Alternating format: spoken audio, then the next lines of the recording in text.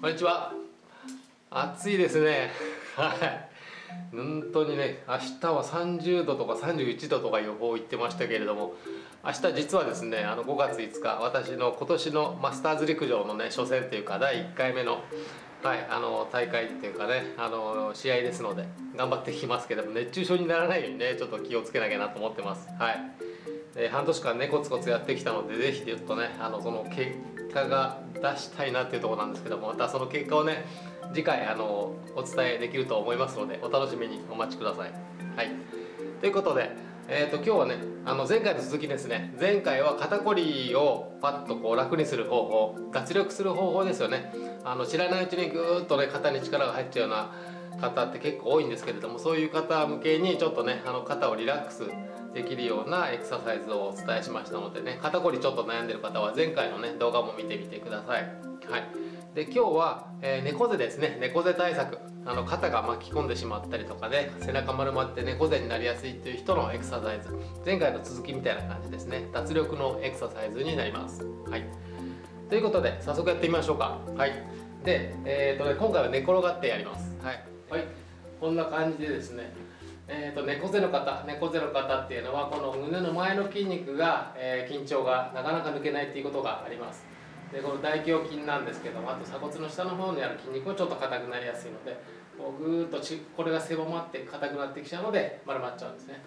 で抜こうと思ってももう緊張するのがずっと続いてるのであの緊張が抜けないっていうことがあります。なので前回みたいにこうパッとね脱力するコツをちょっとつかむと意外と抜けてきます。はい。では一緒にやってみましょうかね。まず肩をねぐーっと上方向に向かってね上がるように上げるようにぐーっと胸を縮めていきます。でそこで手はね手は下に置いといてください。ベッドにね。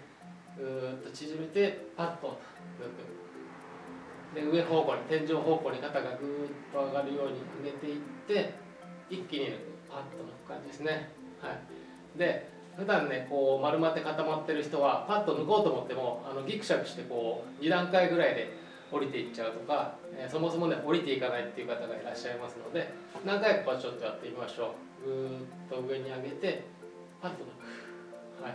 ぐーっとま上に上に向けて目いっぱい目いっぱい力入れてパッと抜く。力を入れるのはね胸の前の方の筋肉ですね。この辺に力が入るような感じでぐーっと力入れて上に向かって上げてパッと抜く。でこの時のコツは前回と同じなんですけれども鼻呼吸よりも口を開けてね口呼吸の方が、えー、一気に抜けやすいので、えー、ちょっとねまず鼻でやってみましょうか。口を閉じてぐーっと上げます。で鼻から抜けるようにそうこれ鼻のぞみですね。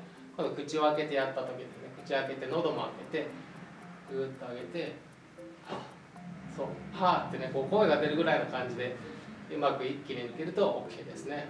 これを何回かやるとだんだんねこの胸の筋肉の緊張が、えー、と神経のねこの伝達のパルスがえーと出っ放しなのがねちょっと切れるのでで力が抜けやすくなります。はい。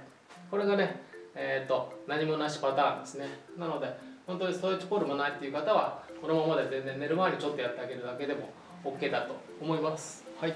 でストレッチポールを持ってる方はこれをストレッチポールに乗った状態でやるんですけどもそんなにね普段あの普段というか皆さん持ってる方は少ないと思うのでそういう方はバスタオルバスタオルですね。これも結構使えます。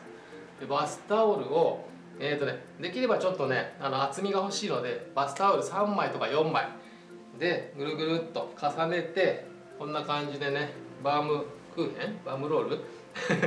バームロールは私の好きなお菓子ですけどもこんな感じで筒状にします。筒状にして枕も置いときますね。筒状にしてでここにね背骨を乗っける感じになります。はい。いい感じかな。そうそう。で34枚重ねると結構ね高さができます。そうすると背骨に乗っけると肩がちょっとね下がりやすくなります。なのでこの落差が大きくなるのでよりあの胸の筋肉が、緩みやすくなるという感じですね。でこの状態でまあ足曲げててもいいです。あのちょっとねここの高さがある。これで同じで手はねベッドに置いてで肩をぐーっと天井方向に上げて胸の筋肉縮めてパッと抜く。さっきよりもちょっとねストロークが長くなるのでより緩みやすくなりますね。